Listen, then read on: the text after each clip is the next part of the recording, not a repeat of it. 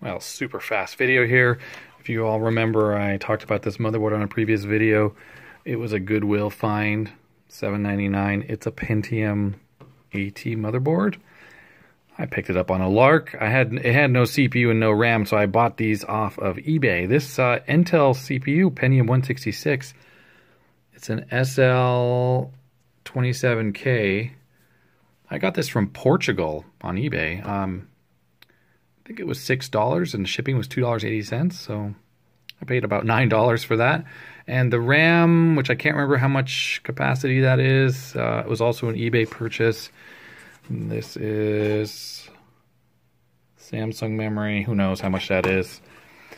And I had to pick up a cooler for that. And the reason why I even bothered doing this is because uh, if you remember, I got this case here to take the floppy drives out of. There's a three and a half inch, five and a quarter inch, but it's an AT case and it has a power supply here. And um, I thought, oh, might as well. I had this AT motherboard. Why not get it in there and working? Um, if just a quick note, if you ever plug these AT power cables in, there's two connectors. Um, they can go on either way. The black wires have to go in the center. Also, I had this VGA card, which I got also from Goodwill, $5. Unfortunately, um, it's a GeForce. It's PCI. It has the BGA problem that so many of these had. I guess this was an early 2000s card and uh, you know the, the, the, soldering falls apart. And this was happening inside laptops. Like Macintoshes had this issue with this particular GPU. I could try to bake it in the oven, maybe fix it. But anyways, if I use this, it does seem to work. I tried it in a different computer. It just uh, you get weird patterns on the screen, but you can read what you're trying to do. It's it's not completely broken. Anyways, it's enough to test this. So I'm gonna see if I can make this motherboard work. I mean, it may be broken. I have no idea. Goodwill. I have a speaker hooked up. This was in the case. Just plugs into the motherboard right there. This is connected. I looked in the manual to set up the RAM. This is bank 0, bank 1. That's how it goes. You do have to set the jumpers on this motherboard for various things like CPU speed. That's just how it was back in the old days. So this jumper was relevant here according to the manual, and this one here sets the multiplier. And I kind of went over all the other motherboard jumpers, and everything looked okay. Motherboard's in pretty good shape. There's a little bit of corrosion there. That's uh, Deox. I was trying to remove the corrosion. All right, so I'm ready to test this out.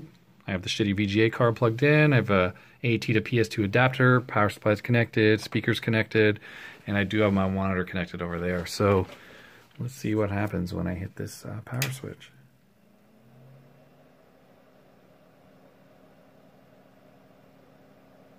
Hmm. Nothing. Oh, wait. Look at that. Okay, ignore the video problem. That's just the problem with this video card. All right. So I guess this thing kind of works. Maybe, maybe not. Hmm, I'm not too sure. I don't know what kind of problems this video card is causing, though. But that's a good sign. Although, no beep. Hmm. Let me power this off and try again. I'll fool around before I come back to you. Alright, I plugged in my video card from my Micron. And look, there we are. It works. Uh, let's see. I don't even know what the deal is here. Standard CMOS. Oh, wow. It has a date. December 12, 2016? That is today. When was the last time this thing, oops, was used?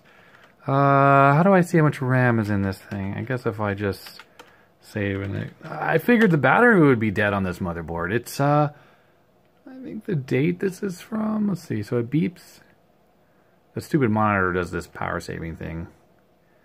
So there we go. They have 32 gigs of RAM, 166 megahertz Pentium. Sweet, floppy drive fail, of course, when nothing's plugged into it. Energy Star as an AT motherboard. All right, cool. So that works. So I just need to buy a new video card. That piece of crap one from Goodwill for $4 doesn't work. But that's kind of exciting. I think this motherboard is a lot faster than the original 33 megahertz that was in here. But yeah, this isn't too bad of a motherboard, and I, you know, I had no idea if it would work or not, but apparently it does. Setup, oops, I don't need to load setup default. So plug and play. All right, um, I didn't see a date on this BIOS, but it's got to be, I'd say, around 95 if it has plug and play. Yeah, resources controlled, and some power saving. And the usual chipset. Oh, there's the RAM, 70 nanosecond RAM. Oh boy, that's fast. Not really, actually. Very cool. All right, well, that's exciting. Um, I'm still annoyed I paid $5 for a bad video card, and I went to go return it, and I had to go back to the same store you bought it from to get the credit.